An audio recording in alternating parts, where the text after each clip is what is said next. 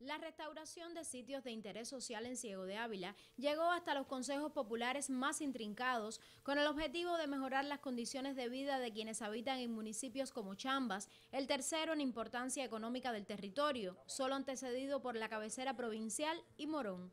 En el poblado Máximo Gómez, 10 viviendas construidas con presupuesto estatal fueron entregadas a familias damnificadas por el huracán Irma en 2017 mientras otras 91 de las 314 que aún no se han terminado se encuentran en la fase final de su construcción en áreas más protegidas de la elevación del nivel del mar, pues esta zona se incluye en el programa de enfrentamiento al cambio climático. También se concluyó la primera etapa de restauración del edificio docente de los institutos preuniversitarios Camilo Cienfuegos y el Politécnico Iselín Arencibia en el Consejo Popular Enrique Barona, donde más de 400 alumnos cursan sus estudios, la mayoría de ellos en 11 especialidades técnicas, entre las que aparecen veterinaria, logística, contabilidad y mecanización agrícola. En lo que resta del presente año y en la medida que las condiciones económicas lo permitan, se restaurará el segundo bloque de la escuela, insigne por sus aportes al desarrollo de programas vinculados a la producción de alimentos. Se ejecutaron obras en la cabecera municipal de Chambas,